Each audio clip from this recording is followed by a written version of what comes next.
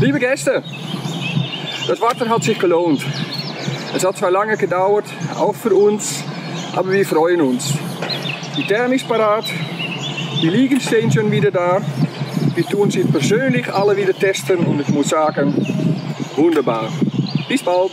Wir freuen uns ganz sehr, dass Sie bald wieder da sind.